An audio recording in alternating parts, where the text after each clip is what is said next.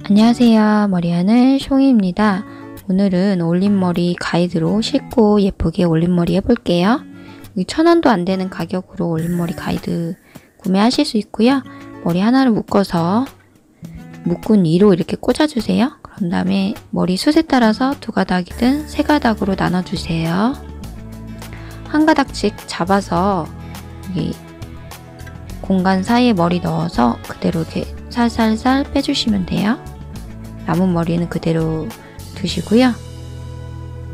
원하는 곳에 꽂아서 공간 사이 머리 넣어서 그대로 빼주시면 돼요. 마찬가지로 한 가닥도 남아서 이렇게 해주시면 되고요.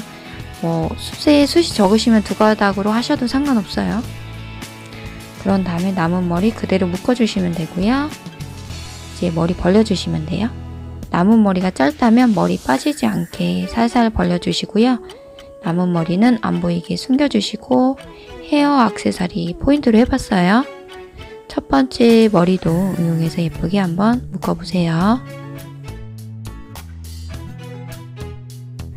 두 번째 머리는 두장 예쁘게 만들면서 머리 묶어볼게요.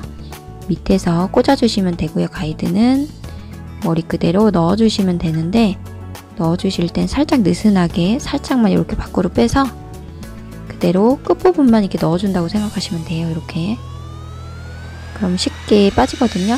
그런 다음 밑에 부분은 벌려주세요. 벌려주신 다음에 머리 넣어주실 땐 이렇게 반으로 나눠서 넣어주셔도 돼요. 되고요. 아니면 하나로 모은 상태에서 넣어주셔도 돼요.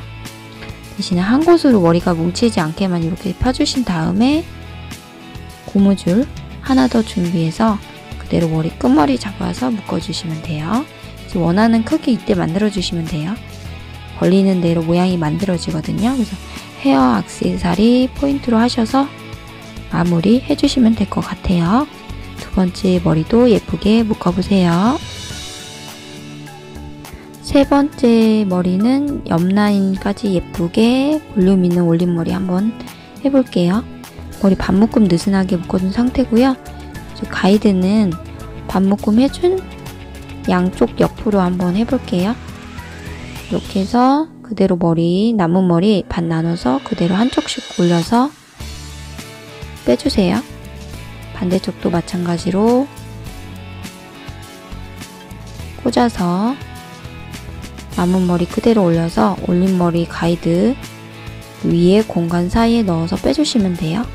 이렇게 해서 그냥 묶기만 해도 여기 옆쪽 라인이 예뻐 보이거든요. 그래서 그대로 고무줄 한 번 더 묶으신 다음에 고무줄 살짝 들어 올려서 남은 머리 그대로 위에서 밑으로 이렇게 빼주시면 돼요. 이렇게 빼주신 다음에 원하는 볼륨 만들어서 이렇게 벌려주시면서 남은 머리 안쪽으로 넣어주시면 되는데 번의 크기는 너무 크지 않게 해주세요. 너무 크면 잔머리 정리하기 힘들기 때문에 해주시면 될 것 같고요. 세 번째 헤어도 응용해서 예쁘게 한번 도전해 보세요.